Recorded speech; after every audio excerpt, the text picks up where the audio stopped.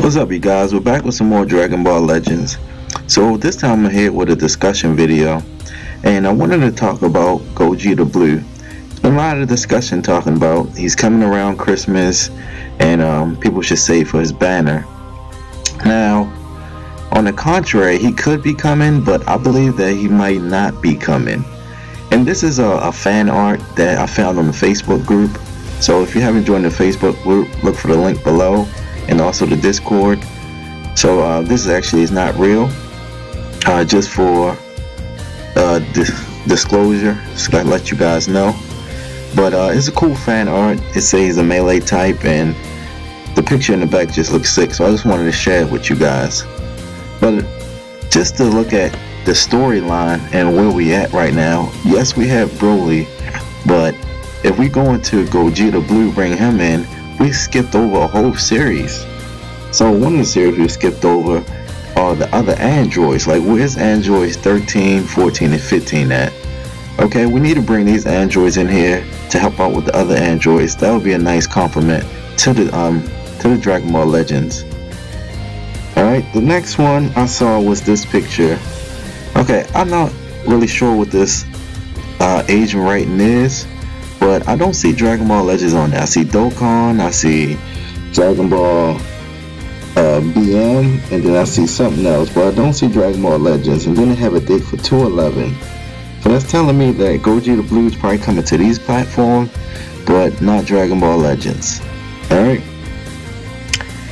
On the contrary, who else is supposed to be coming that we haven't seen yet and that we should get before Gogeta Blue is uh, Super Saiyan 3 Gotenks? Like, where is he at? We definitely need him in the Majin Buu stage and to help out with the hybrid Saiyans because hybrid Saiyans they kind of fallen off the meta ever since all these new updates for as the character. In addition to hybrid Saiyans, we have the Mystic Gohan. We need him to come in here, help out the hybrid Saiyans, and also he's a powerhouse. He's come with the Z sword and he's going to be in two different outfits, whereas though he fight Buutenks. So I hope they bring these characters soon, even including Majin Buu with his all different forms for his people he absorbed. Then the next will be Kid Buu. We can't forget about Kid Buu because how we gonna go straight into Gogeta Blue and forget about Kid Buu? He's one of the main characters in the storyline that caused a lot of ruckus and a lot of destruction. Alright? And finally but not least, is Vegito. I know everybody want Gogeta, but we can't leave Vegito out. He's uh, a canon fusion. I think he was actually the first one. And he, he did really good, even though he took a lot of L's. He never really he never really came up and got the job done when he was fighting Buu. He got captured in his Zord, but he got his Zord on purpose, but he didn't kill Buu. The next one he was fighting, I think he was fighting Zamasu and when he was fused with Goku Black, they didn't get the job done there neither. And um, the other one was Dragon Ball Heroes when he actually went uh, uh, blue with Kaioken, but he didn't get the job done there.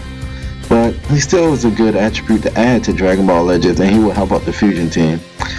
Alright, so let me know what you guys think in the comment box down below. Do you think Gogeta Blue is coming on Christmas, or do you think to have to wait on him? Or just share whatever you got on your mind about this topic, alright? So until next time, peace.